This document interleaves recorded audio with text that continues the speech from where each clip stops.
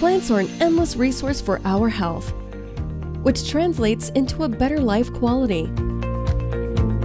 The Encyclopedia of Medicinal Plants, written by the renowned Dr. George Pamplona Roger, analyzes scientifically the benefits of more than 450 plants and teaches us about their wonderful healing power.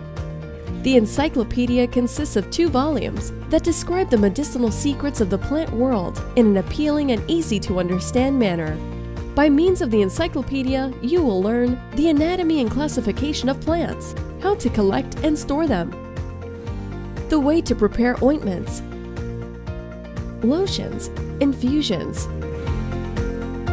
tisanes, and juices, application techniques, the use of the plants in treating infections and preventing diseases. This work includes a detailed description of the benefits and uses of the plants for all organs of the human body. The eyes, the heart, the liver, the skin, the veins.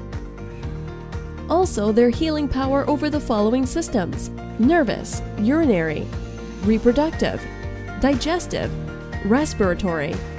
The Encyclopedia of Medicinal Plants contains images, illustrations, graphics, and comparative charts that make the material highly educational. Moreover, it features indexes that help to find easily the topics of interest included in the book.